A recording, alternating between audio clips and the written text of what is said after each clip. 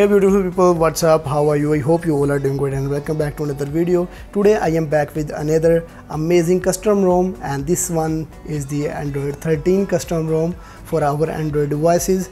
This one is not for only one device. Uh, this is uh, for bunch of devices.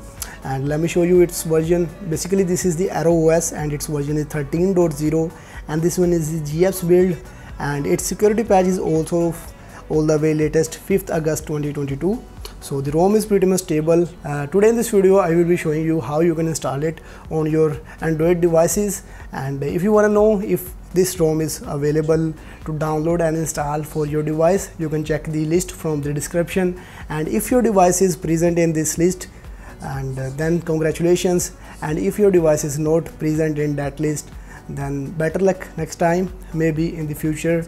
Uh, your device will be added in that list. So for now this is only available for uh, maybe few devices 10 or 8 devices. So today in this video i will be showing you how you can install it on your android devices. And today i will also review it out. I will show you uh, its performance. I will also tell you if it is stable for your daily usage. And uh, can you use it for gaming how's it battery backup and everything you need to know is in this video. So without any further ado let's get started. So first of all let me show you how you can install android 13 first custom rom on your android device. First of all uh, download the custom rom for uh, your device according to your device from the link in the description. After downloading the ROM, copy the ROM into your internal storage SD card or you can also use any external hard drive or OTG device. Right now I am using external hard drive. Let me show you. This one is my external hard drive. So I have downloaded the ROM into this. So uh, now what you have to do a custom recovery should be installed on your Android device. If you have not uh, installed a custom recovery on your device, then you can watch my video from the link in the description. By watching that video, you will be able to install custom recovery on all Xiaomi Redmi devices. So first of all, uh, just power off your device after uh, shutting down your device just press and hold power button plus volume up button to reboot your device into the TWRP or any custom recovery. Right now I am using the Redmi Note 11 and uh, this time I am using TWRP recovery as you can see here. After going into the recovery just connect your uh, OTG device. If you are using the OTG then connect it out and uh, first of all you have to go into the wipe. So after going into the wipe click on format from here type yes after typing yes just click on this tick button. Your data will be wiped. Your data will be formatted.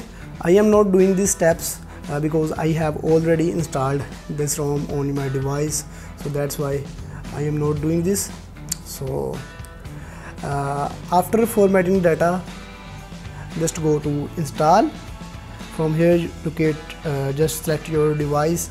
I am using the usb otg and now look at your downloaded and copied arrowos 13 as you can see here here we have the arrowos 13 spes uh, i am using it for on my spes spes means android uh, spes means redmi note 11 so just flash it right from here. After flashing the ROM go back to home click on advanced and from here you have to choose flash current TWRP recovery so just flash it out. If you don't have this option in the advanced section you can also flash the TWRP image file or zip file to make it permanent on the Android 13 ROM. Otherwise your, your recovery will be replaced with the Android 13's recovery.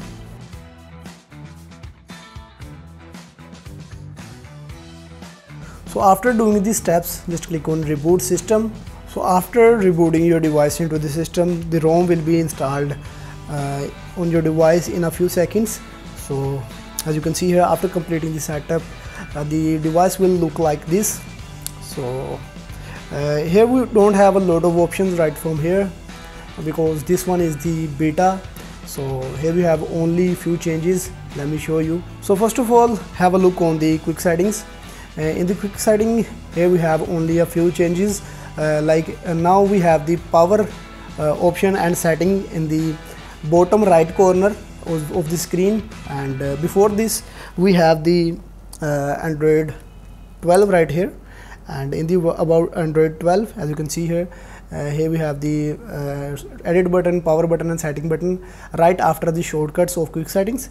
And uh, in the Android 13 we have these changes uh, now we get this option go this option in the right corner of bottom. So other than that we don't have a lot of changes for now and uh, maybe in the future a lot of features will be added. So in the camera here we only have a uh, simple camera as you can see here. But if you want more features then you can go for the G apps and the overall performance of this ROM is pretty much stable. As you can see here the animations are also played very well. And the smoothness you can feel the smoothness of this ROM uh, the ROM is pretty much smooth. And let me show you the app opening speed. As you can see here it is opening the applications quickly. And the animations are also played very well.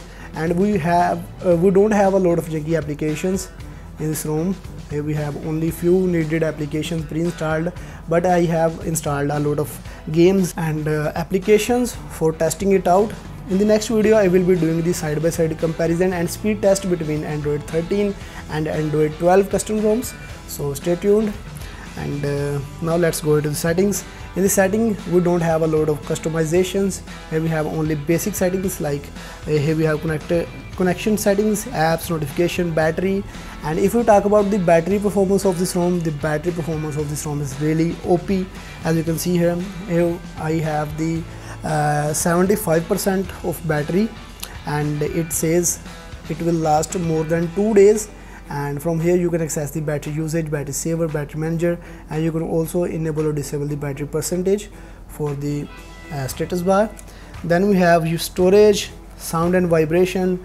And in the sound and vibration we also have the Dolby Atmos which is a plus point for this amazing ROM. So then we have display. In the display you can also enable the 90 hertz refresh rate. That's mean your display gonna be so smooth while gaming and while scrolling on social media. As you can see here we don't have a lot of uh, options right here. We only have a dark mode uh, night light colors and some other tap to wake options. Then you have wallpaper and style. In the wallpaper we only get this one wallpaper pre-installed but don't worry you can access a lot of wallpaper from different applications and google too. Then we have accessibility security. Now if we talk about the security uh, some major options are working like fingerprint is working and on uh, and all other on-screen locks are working pretty much good. Face unlock is not present in this ROM maybe it will be added in next updates. So after it here we have privacy location safety and emergency password detail well-being google system. In the system we have languages and input. Gestures in the gesture we have quickly open camera system navigation bar one-handed mode which is working pretty much good. You can just operate the whole screen with using only one hand. Then we have press and hold power button prevent ringing. Then we have date and time backup system updater multiple users and reset options and at the end here we have the about phone. From here you can check your android version which is android 13 ios version is also 13 gx build and security patch is also latest 5 August 2022 so there is no any single bug or issue except uh, the video calling is not working in the meeting application. So you can't uh, do meetings on the Google Meeting application. Other than that everything is just working fine Wi-Fi is working Bluetooth hotspot mobile data everything is just working fine in this ROM. So you can use this ROM as your daily driver but uh, I don't suggest you to use this ROM as your daily driver because this is only built for testing for now and um, more stabilized uh, builds will come in the future and you can use them for your daily driver. You can use this ROM for only testing and uh, whenever it will get get stable I will let you know in my videos. Other than that you can also customize your screen. Like I have I have customized my own unique home page. You can do by uh, creating your own. Just press and hold on the home screen and from here you can access the uh, wallpaper and style. From here you can change the wallpaper. You can also access the wallpaper colors basic colors and uh, you can also enable the dark theme and you can change the upgrade right from here. Other than that we have the widgets option. From the widgets you can add a lot of widgets right from here. You can add every application have their different widgets as you can see here. So you can use any of these. And uh, in the settings of chrome we only get these three options right from here. So you can also customize your home page and home screens as well in this ROM so hope you guys like this video. If you really did hit the like button. Don't forget to subscribe my channel. Keep supporting. Thanks for watching. Peace. And let me know which feature do you like the most in android 13 and uh, keep supporting. Thanks for watching. Peace